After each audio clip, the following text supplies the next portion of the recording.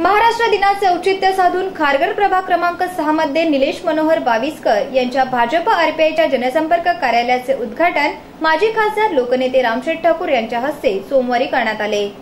Sector पंधरा मधील Matrichhaya society येथे हे कार्यालय सुरू करण्यात आले असून यावेळी ज्येष्ठ नेते अभिमन्यू पाटील अनंता तोडेकर युवा नेते शत्रुघ्न काकडे कीर्ती नवघरे वासुदेव पाटील नरेश ठाकूर बीना गोगरी समीर कदम सुरेखा घोडके नंदू बारुंगसे सुनीता मुळीक श्री नायर आदी मान्यवर उपस्थित होते.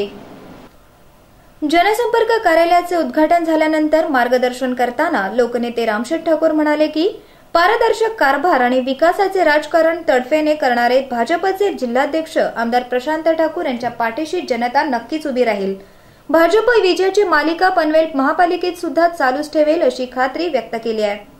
पाच वर्षांनी एकदाच मिळणारी मतदानाची संधी न चुकवता सर्व मतदारांनी आपला खरा विकास साधू शकणाऱ्या भाजपच्या उमेदवारांनाच निवडून आणा असे आवाहन सुद्धा त्यांनी यावेळी केले.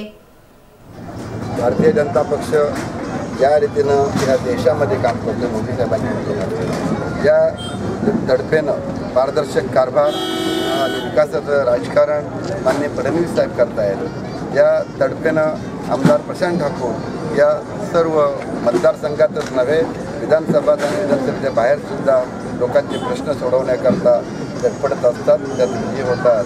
हे सर्व पाहिल्यानंतर लोकांच्यामध्ये एक आत्मविश्वास निर्माण झालेला आहे की जी काही कामं करायची असतील ती कामं किंवा ज्या काही लोकांच्या अडीअडचणी सोडवायच्या असतील तर त्याकरता या महापालिकेत भाजप यायला पाहिजेलं आहे. आणि हे एकदा लोकांच्या मनात विजयात बसल्या कारणानं लहान मोठे आमचे ज्येष्ठ नागरिक असो किंवा युवक असो सर्वच्या सर्व भाजपाच्या पाठीमागे राहिलेले आहेत. आणि म्हणूनच वाटते सर्वांना की भाजप येणार.